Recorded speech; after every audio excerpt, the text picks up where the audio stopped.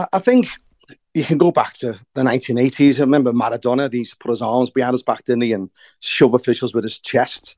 You know, this sort of thing's been going on on for years in football, and I think referees can be guilty of trying to manage the game. You know, they're always getting told off, get you know, cards happy, and yeah. you know, you're not letting the game flow. And I think if they start doing that, they, you know, they just get more stiff. But what we said on Twitter, which I agree with you with, there's just no boundary. There's no physical boundary, you know, technical physical boundary to say, look, you're in my space, stay away. And if we have this sort of, you know, imaginary boundary drawn, I just think people will know where, where it stands. And I just think it'll make the game, you know, more understanding with regards to what you can and can't do with a, with a match official. I think what Mark said then, I, I don't agree with Mark. A lot of respect for Mark, but I don't think this is in the realms of what uh, Mitrovic did. I understand that you know match officials will be accountable and, and get the same punishments if they do a like for like incident, but you know, he was responding to someone grabbing him, whereas Mitrovic was the one who was grabbing the referee and continuing the aggression. So I, am I'm, I'm not buying that, you know, it's in those fields. And I think when people realise that, you know, just don't put your hands on a match official and you won't end up with situations like this.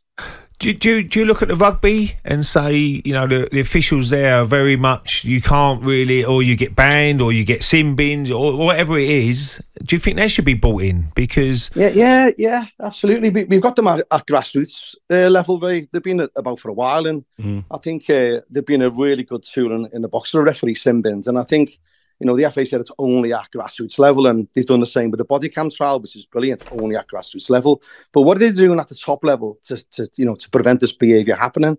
And and currently they don't seem to be doing anything, and we're just getting concerned that you know, let's let's set some boundaries here. Let's just you know, let's just think about it and and understand that you know you shouldn't be laying hands on match officials. You just no. I just can't think any reason other than a handshake that we should be doing that. Yeah. Do do the teams and, and do the managers need to go away um, over the summer break and, and sit their players down and say, you've got to start behaving here. You've got to show a little bit more respect because if the punishment for the next season comes in and, and it's harsher, or or at least they say what they can do with their cards and they actually mm. they actually use them more readily. You say, look, this is actually going to be. Um, the the the level that you are punished is going to be a lot higher for what you're used to. Do the do the clubs have a kind of um, duty of care to say, right, you guys need to start behaving better? I think we all have, Laura. I think players got a duty of care, and I think referees need to be stronger. You know, we all want a game where you know there isn't many cards, and we all like a referee to have a personality and use that personality to manage the game. But we can't manage or negotiate law. And I think we've gone into this field where we're negotiating with players what we should and should and should and should not do. And I just think you never hear the PFA come out and say that's out of order. You never hear the LMA come out and say it's out of order. The PGMOL responded really, I think they responded at half time, didn't they, with statements. But we still don't hear nothing from the other stakeholders in football. You know, let's all try and make the game better together and and just create these sort of respectable areas where, you know, this look look at what happened to Sian Massey, a slight touch on the shoulder. Then we've evolved to what's happened to where uh, Bruno Fernandes should have been addressed and it wasn't. Then we have Mitrovic. Now we have this, you know, where are we going to stand up and say, look, come on, let's together, let's do something to just make it a less aggressive and more enjoyable game? And you feel like that two metre exclusion zone, that's going to be the thing that, that actually is a step forward for protecting referees and officials? Yeah, I think I think it'll be a positive step forward just to everyone to have their own personal space and just understand that you know just don't do it. I just don't. I think we don't want to be you know sterilize the game. We, we want management. We want we want communication. We want positivity, but there's there's just no boundaries. It's like a free for all. You can just basically do what you want. And look, we had that Mexican referee who actually needs needs mm-hmm. the players in between the legs, and so it, it's all these little things that are growing in the game. Contact with match officials both ways let's not just let it continue the way it always has been. Let's try and do something positive that allows space between a player and a match official. Do you think that, the, that I know we've kind of gone back on ourselves a little bit when we're talking about um, players and sorry match officials being accused of being um, card happy? Do you think that's why they haven't done it in the past? Is it as simple as that? They're worried about the criticism. Yeah, I think it is. I think that that's fair. Even as you're coming through the, through the uh, the ranks as a referee, you may or not know, but clubs mark referees and a lot of them will say, oh, we sent our player off and he shouldn't, or he carded too many. You never let the game flow. It's all consequential. So they get sort of conditioned as they go up, you know, where they're, they're doing technical cautions and they're not doing cautions like this. And I think, I think that we all just look at it and reflect and just think, what can we all do better? And I just think we all want the games to be managed. but we all also want the games to be controlled in a manner where no one's going to be laying hands on a match official.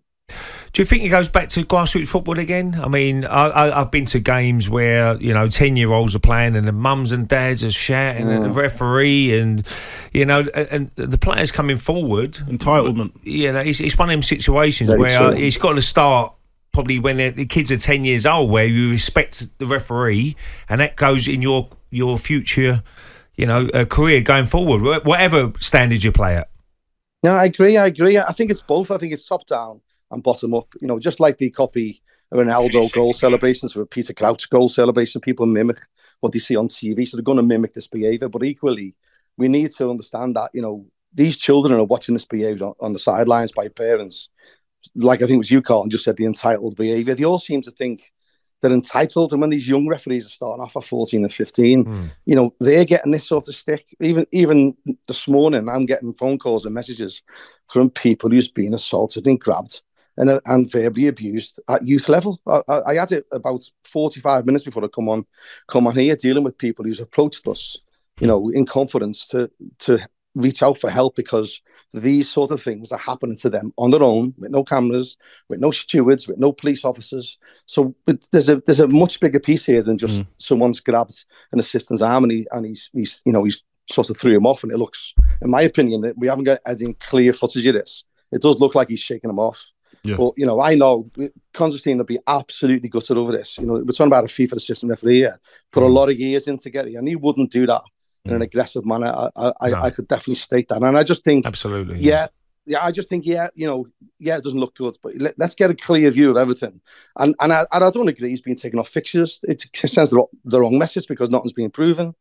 And I just think, just let's reflect. Let's just all take accountability of how we behave towards match officials. Mm. And yet, match officials at grassroots level, you know, some of them might do things that untowards. Look what Darren Deadman did again, judge in that in that um, if, Ipswich games where he, he put his head into someone. A lot of people in football come out and said, "I don't blame him for doing how he reacted."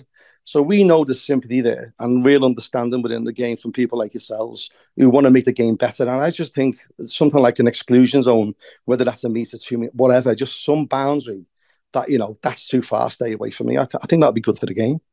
Martin, it's a real pleasure having you on. Thank you very much. Appreciate it. Thanks, everyone. See Take you later. Uh, Martin Bye-bye. Cassidy there, CEO of Ref Support UK. Talk Sport Breakfast with Laura Woods. Monday to Wednesday morning, 6 till 10. On AM, on DAB, via the Talk Sport app, and on your smart speaker. Talk Sport.